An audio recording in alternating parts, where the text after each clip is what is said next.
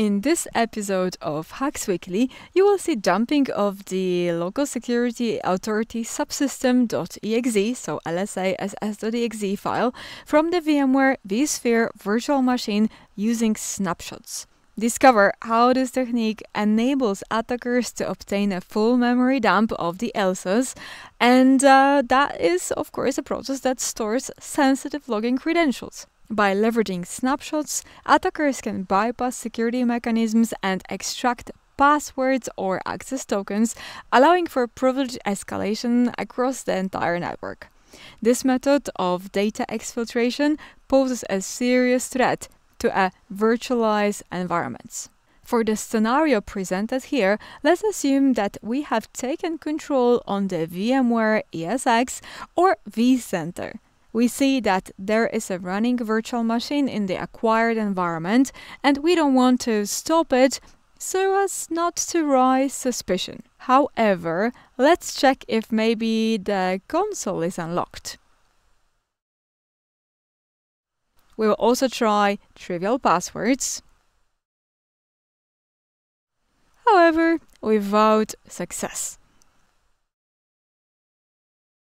Let's now try to take a snapshot of the running VM along with memory.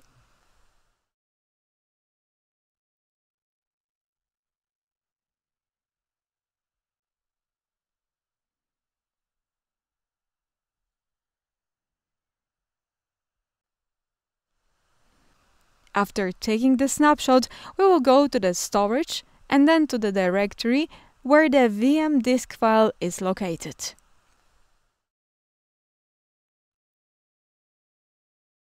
We download the snapshot memory status files vmem and vmsn.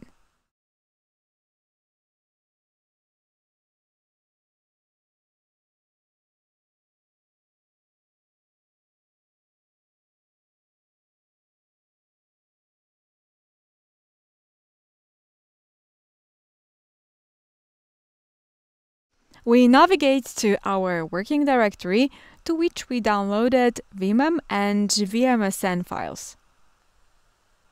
Then we use the VMSS to core tool to convert the snapshot files to a memory dump file.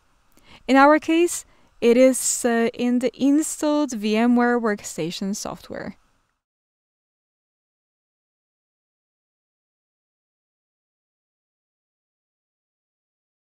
When we have a valid memory.tmp snapshot, we run windbg. We choose File, then Open Crash Dump, we choose memory.tmp. We perform a reload.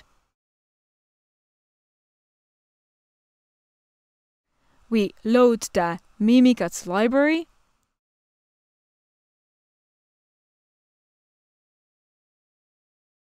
we display information about the LSAS exe process